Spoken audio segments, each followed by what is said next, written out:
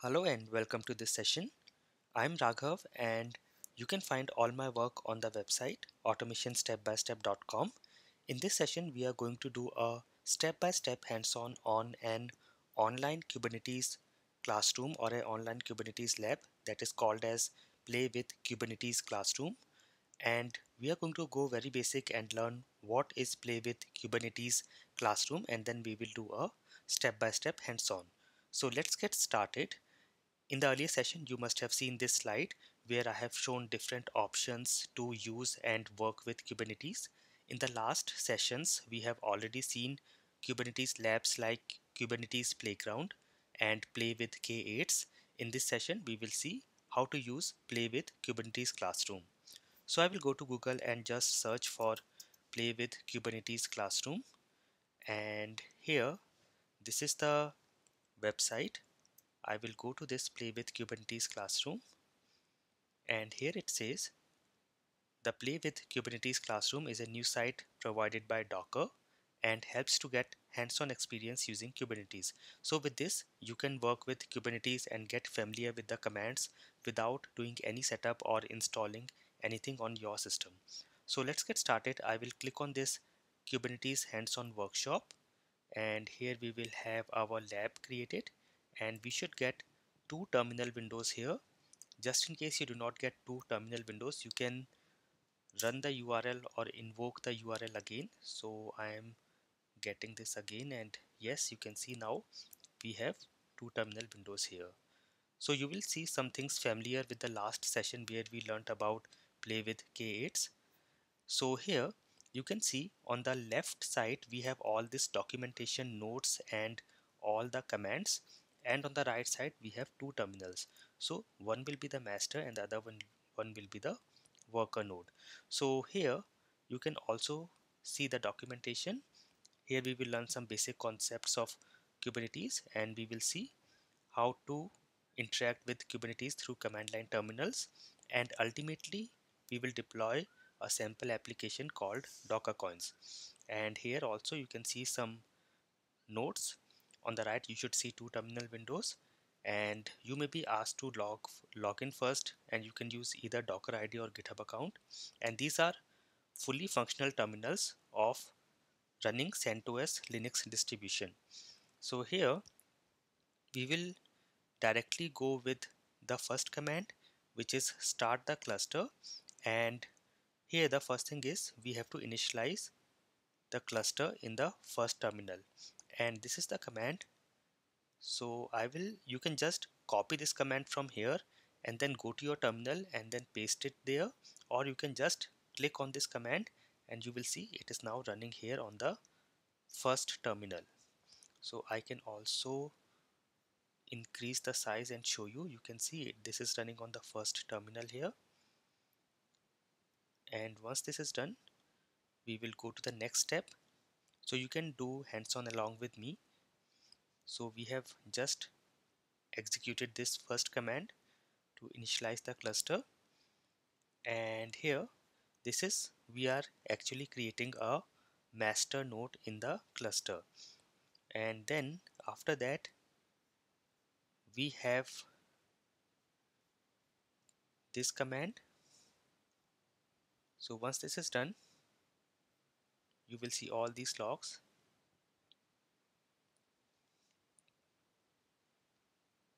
now after this is done this is what we have to do. Copy the whole line that starts kubeadm join and then we have to paste it into the second terminal. So this is we are actually creating and joining a worker node in the cluster. So here once this is done you will see this command of kubeadm join something like this. And that we have to copy and paste in the second terminal. So let me just go here and show you. You can see now this is done. And here you can see a note here. You can join any number of worker nodes by running the following on each as root. So this is the command. I will copy and this we have to run on the worker node which is the second terminal here. So I will just go here paste the command and run. And you should see a message like this. This node has joined the cluster. And then you can run kubectl get nodes to check the nodes. So I will go to the first terminal which is master and I will say kubectl get node or nodes. You can say get nodes get node or you can only say get no. Everything will work. And here you can see we now have two nodes. One node is master and the other one which is not the master is the worker. And if I run the command kubectl get pods you can also say get po. As of now we do not have any pods. And kubectl get svc or get services will show us the service information. So we are done with the first two steps we have created a master and a worker node. And now we have to initialize cluster networking and we have to run this command in the first terminal. So I'll just click here. You can see this is now executing on the first terminal and this is done. So we have also initialized cluster networking. Now we have our cluster set with a master and a worker node. We can now deploy or start our application now here for this uh, demo you can see there is one application that we can get from github. So it is already present there. And here we just have to clone it from github. So this is the command. I will just click here. And you can see this is cloning the entire project from github which is docker coins. And if I now go to the applications folder which is docker coins I will run this cd. And now we are in that application folder. And now if I just say ls here and press enter or I will say ls minus l and you can see all these folders and files. And there is a file called docker compose.yaml we can use this file to start our containers and start all our applications and services. Now just in case you are new to docker you can just follow this for now or you can also go to my website which is automationstepbystep.com and on this website you will find a tutorial on docker. So if you go to the CI CD and DevOps section you will see docker here and you can go here. It is very basic and starts from scratch and it will take you to the YouTube playlist of docker. And here you can watch some of the tutorials so for docker compose as well there will be a tutorial that you can find how docker compose works. You can see how to create a docker compose file. So this is what you can do.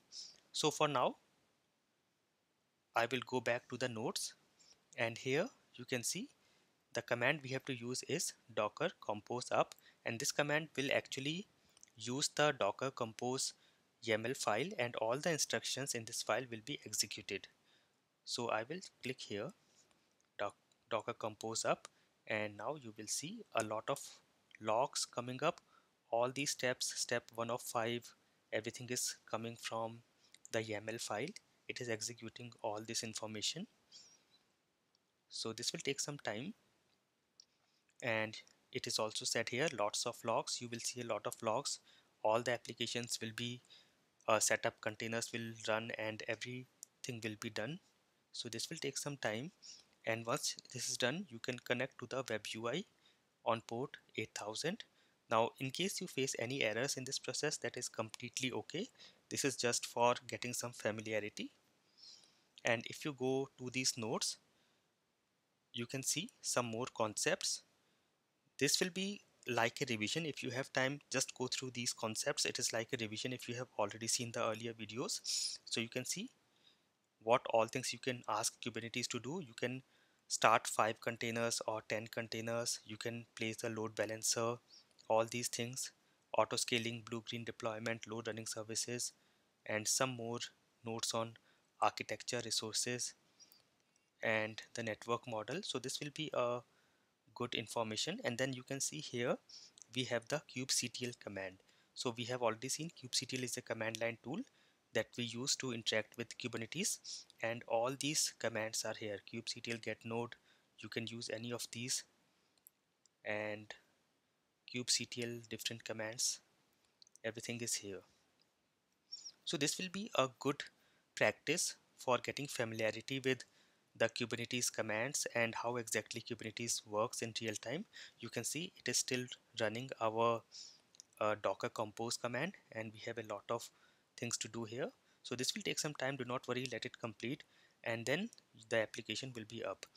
So this is how you can use the play with Kubernetes classroom and in the coming sessions we will see the other options to use and install Kubernetes. I hope this session was very useful for you. Thank you for watching.